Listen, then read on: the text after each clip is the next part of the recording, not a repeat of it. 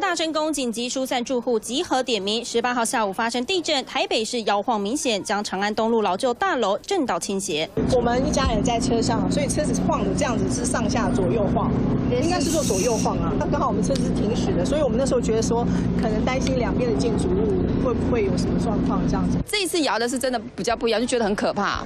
就是平常摇是觉得摇，但是今天真的很可怕，就是有动一声，可是那个我们以为是我们办公室什么东西掉下下来，动一声不是掉了东西，而是隔壁楼歪了。透过动画模拟还原，长安东路二段下午一点零一分明显晃动，接着第三层墙壁出现裂痕，大楼上半部向左边倾斜，七楼以上更是完全紧贴在隔壁栋墙面，紧急撤离上百位办公人员。连栋的那个建筑的那个线是有啊，壁壁刷是有裂开的。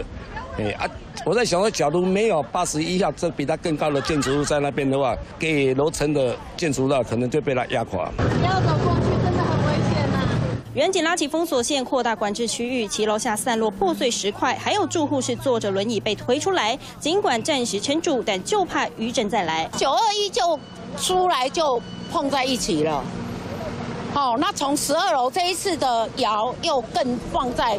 我等一下更更靠在我们这边了，一直都会觉得我们很困扰的事情。同样在台北市信义路四段这栋十二层楼建筑也有倾斜状况，经销立刻疏散三十二位民众，住户惊恐，谁也没想到这一阵竟把大楼给震歪了。三立新闻综合报道。